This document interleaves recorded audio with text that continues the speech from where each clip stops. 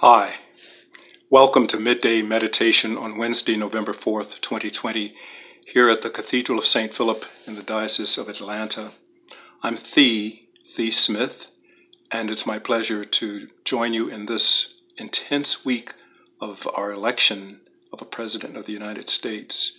Our election day, November 3rd and November 4th, today, the aftermath of that but I'm instructed by our observance also yesterday on November 3rd of the commemoration of Richard Hooker, a theologian of the church who deceased on yesterday in the year 1600, November 3rd, 1600. Let's then begin with a opening prayer that observes a theologian and teacher of the church. The Lord be with you. Let us pray. O God, by your Holy Spirit, you give to some the word of wisdom, to others the word of knowledge, and to others the word of faith. We praise your name for the gifts of grace manifested in your servant Richard Hooker, and we pray that your church may never be destitute of such gifts. Through Jesus Christ our Lord, who with you and the Holy Spirit lives and reigns, one God, for ever and ever. Amen. Well, I didn't notice that it was happening until a few hours after I'd been studying the teaching and legacy of Richard Hooker that I had crossed a line as an Episcopalian. I could really get excited by someone who lived in the 1500s and his relevance for us today in the year 2020 as we're passing through this election. And uh, I was most struck by the collect appointed for Richard Hooker's day. O God of grace and truth, of peace, of truth and peace, you raised up your servant Richard Hooker in a day of bitter controversy to defend with sound reasoning and great charity the Catholic and Reformed religion. Grant that we may maintain that middle way, not as a compromise for the sake of peace, but as a comprehension for the sake of truth. Well, we too are challenged in this time to hold on to truth as well as to make peace without compromising our values and our commitments. How do we do both? How do we find a middle way, as Richard Hooker famously celebrated in his time? I'm not the only one, by the way, who is impressed by his legacy for our time. Both conservatives and progressives, by the way, find uh, uh, something to observe and, and to be instructed by with him. Uh, one writer responds by saying uh, that he helped her to uh, deal with people with whom she strongly disagrees. She had the attitude, uh, she says, uh, like the character Dogbert in the Dilbert cartoon, who says, There's really no point in listening to other people they're either going to be agreeing with you or saying stupid stuff. And uh, when she realized that she had that attitude uh, as she was observing the legacy of Richard Hooker, she realized that she had to find a way to listen to people with whom she strongly disagrees, and that he was a guiding coach for, for her and for us on that.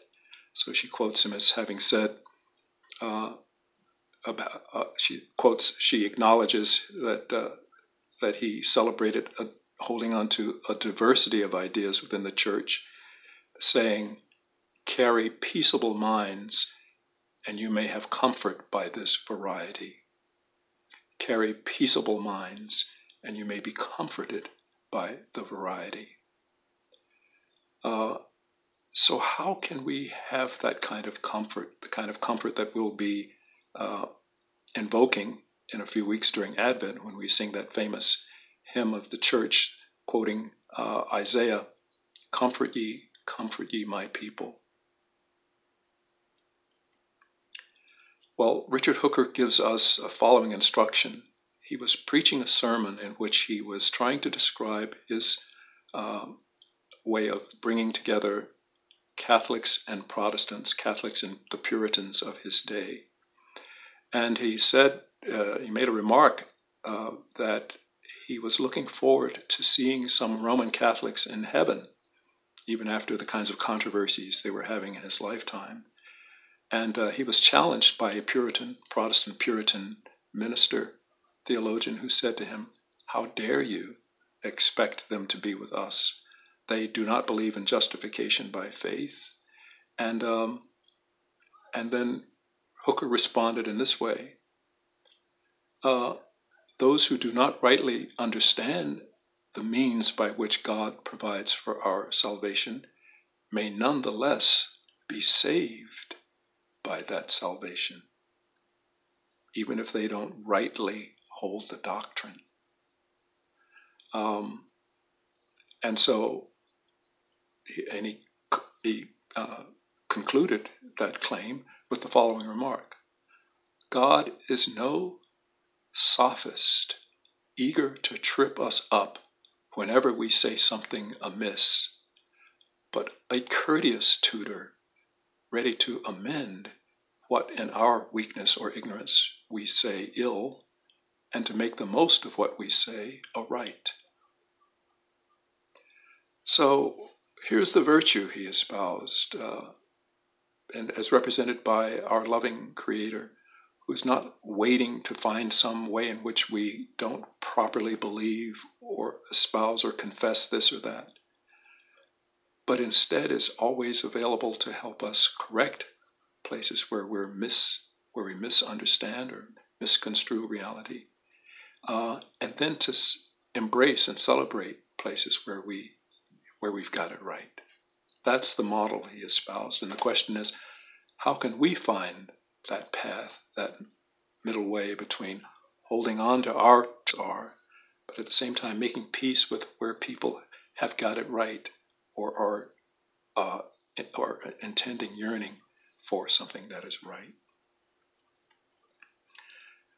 It's remarkable that that perspective of Hooker converges with Ignatius, um, with Ignatius of Loyola, who, as a Roman Catholic theologian, made this claim that every good Christian uh, needs to be ready to save the proposition of another rather than simply condemn it as false. If you're unable to save the proposition, uh, you should ask if you're unable to figure out how the other person's proposition can be right, ask them how do they understand it. And if they don't understand it, um, you should ask them, he says, with love, how can they persuade you that it's right?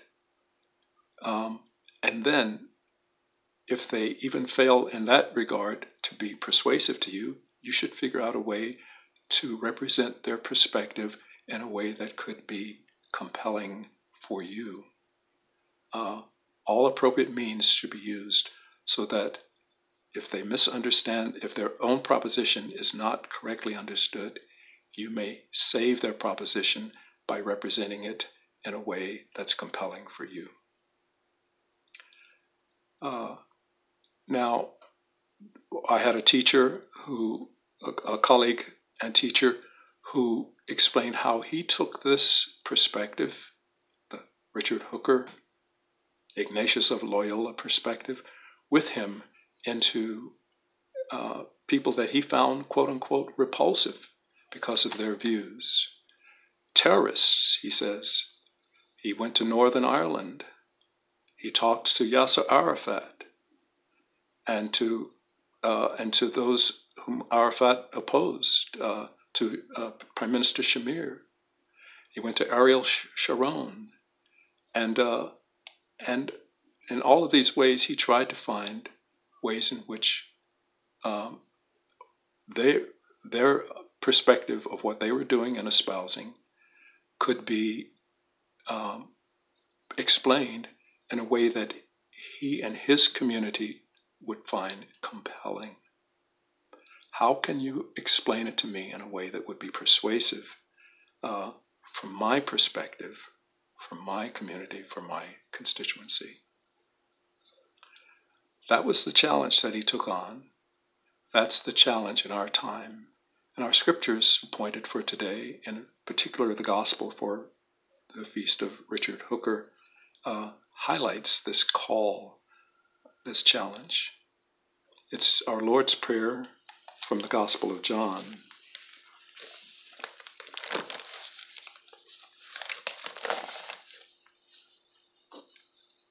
in which Jesus makes this prayer to his Father. He says,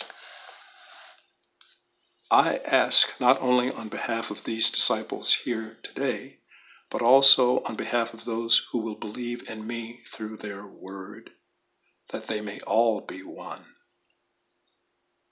I and them and you and me, that they may become completely one, so that the world may know that you have sent me and have loved them even as you have loved me. What an incredible challenge. And of course, this is our Lord's prayer for his disciples. It addresses most often divisions in our church between Christians who are polarized on both sides of some issue. As we are in our day in our church, yes, even around this national election.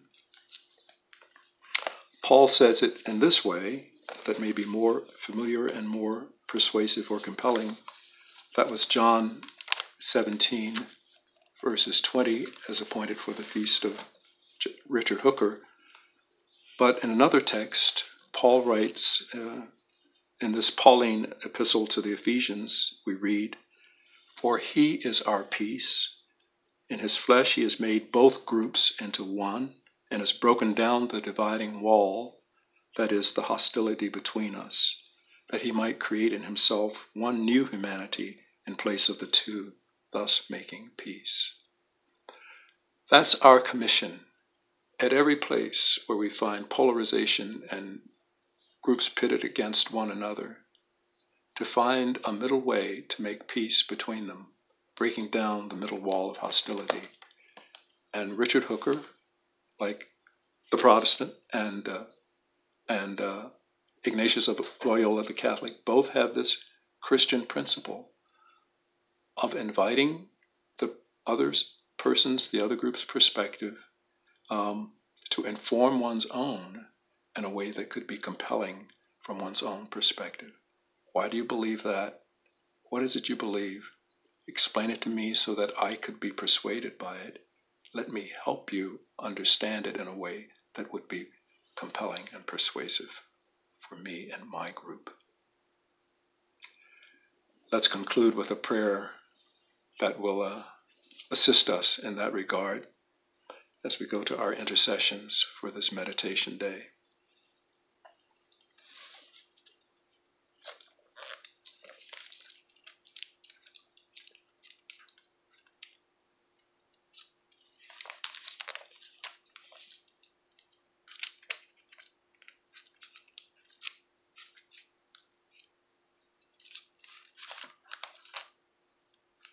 The Lord be with you. Let us pray.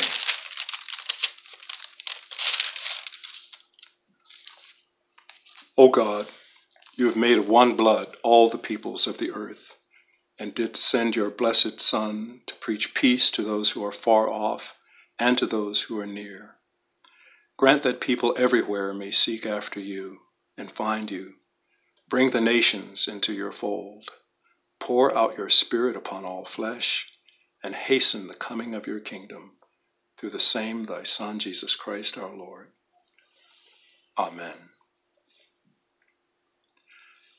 I invite your own prayers as we uh, recall to mind those who need uh, our Lord's uh, rescue and uh, strength and wisdom in this hour, uh, and circumstances and situations that come to your mind and heart for intercession. We pray especially for those who've presented themselves for public office, uh, that they might have grace uh, to accept the will of God, and that we might continue to support them uh, with our prayers and interventions.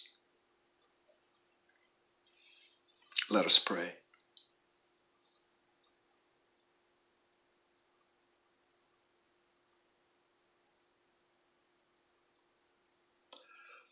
O oh God, you are so much more able to accomplish for us things beyond our imagination, needs, desires, and requests.